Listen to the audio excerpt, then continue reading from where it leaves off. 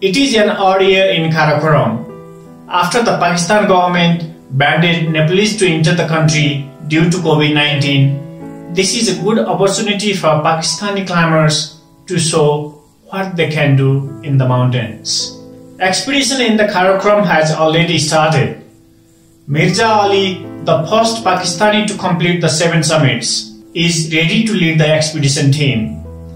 Ali announced that he will lead commercial expedition team with 11 clients and 22 local high altitude porters to the board peaks and K2. Two highly experienced European climbing guides, Jordi Tosas from Spain and Stephan Keck from Austria, will lead the rope fixing team on Mount K2.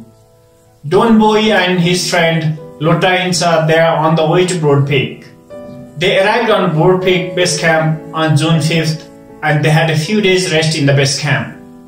And they climbed up to a Camp 1 and stayed two nights at an elevation of 5600 meter, but forced to back down to base camp due to bad weather.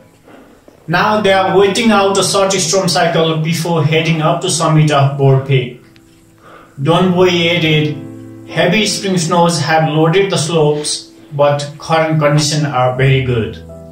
Lotta said, It's been fun having the mountain to ourselves, but it is also great to hear about so many other groups starting their journey towards to Karakoram Summer Expedition 2021. She added, If all goes well, we will move on to G2 after the board Peak to check out the French route I have been dreaming of for two years now. 2021 Karakoram expedition is very important for the locals high altitude porters and the guides to increase their confidence and also to earn some cash in these difficult times. Let's wish good luck to everyone. Stay tuned for more updates about the Karakoram Summer Expedition 2021.